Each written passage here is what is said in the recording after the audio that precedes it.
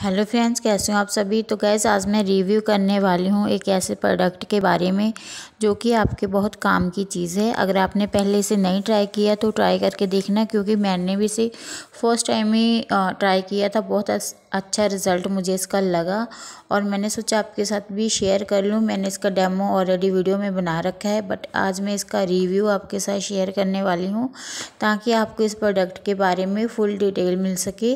कि ये प्रोडक्ट किस टाइप का है और कैसे इसको यूज़ करना है और कैसे, कहाँ से मैंने मंगवाया है और कितने का मुझे ये पड़ा है, ये सारी डिटेल मैं आपके साथ शेयर करने वाली हूँ।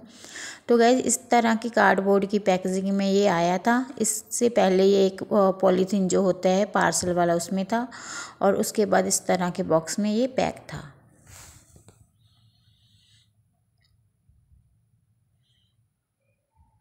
तो सेलो टेप अच्छे से लगाकर पैक किया हुआ है।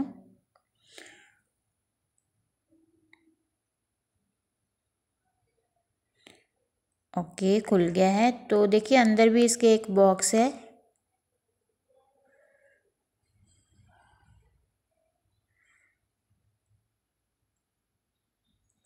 इसे बाहर निकाल के देखते हैं।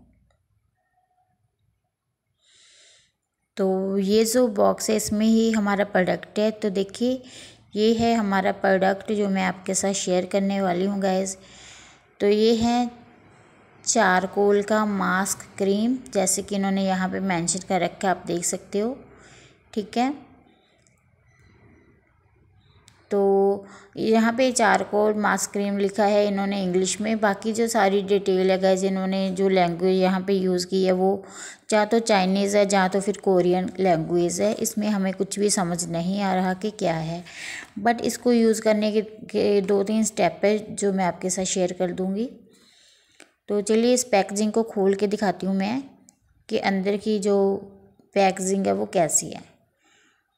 तो देखिए इस टाइप की बॉटल में है ये। ऐसा। तो मैंने इसे लगा कर देखा गया बहुत अच्छा है, इसका रिज़ल्ट आया। आपने अगर वीडियो नहीं देखा तो आप देख लेना कि इसको लगाना है, कैसे यूज़ कैसे करना है, इसे फिर रिमूव कैसे करना है, ठीक है? तो यहाँ से ओपन हो जाती है बॉटल और अंदर की जो क्रीम है, मैं आपको दिखा देती हूँ कैसी है वो भी।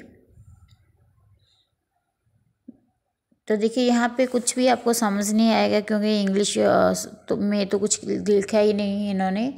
चारकोल मास्क क्रीम ऑली इतना ही इंग्लिश में है बाकी आपको समझ में नहीं आएगा बट प्रोडक्ट काफ़ी अच्छा लगा मुझे।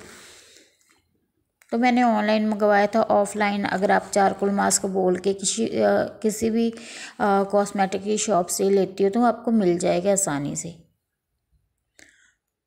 तो देखिए आपको दिखाती हूँ किस टाइप का होता है ये।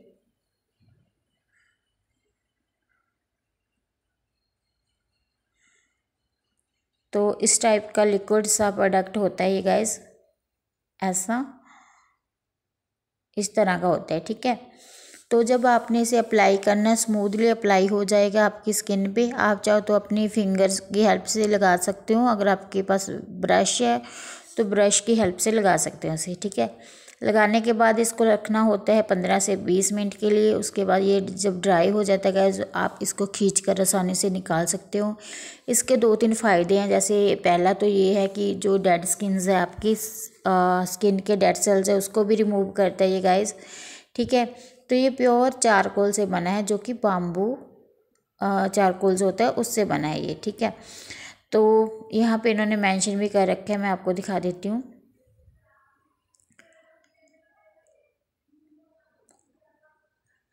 ओके तो मैं यहाँ पे आपको इसकी डिटेल है जो वो, जैसे यहाँ पे आप देख सकते चारकोल और यहाँ पे आपको कुछ समझ नहीं आएगा और उसके बाद इन्होंने नीचे बॉटम पे लिखा है दूसरी साइड पे।